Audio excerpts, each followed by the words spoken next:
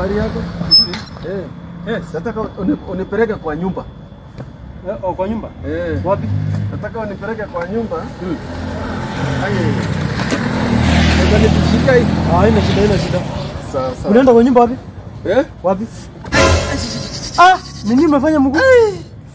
Nasikia uchungu. Ni haya ngoja kwanza, ngoja kwanza, ngoja kwanza.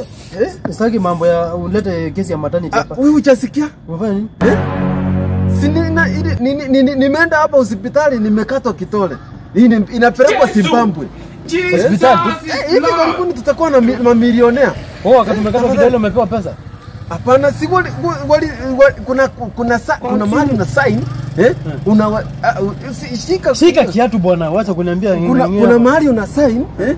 Hii unatuma huko. Sasa hiyo kidole inawekwa kwa hiyo bahasha. Eh? Angalia, angalia vizuri ni kwa. Sasa hiyo kidole inaweka kwa bahasha. Alafu sasa after two weeks check inatumwa kwa Wewe ni mjinga aje? Ukikatwa kidole unapewa pesa saa hiyo.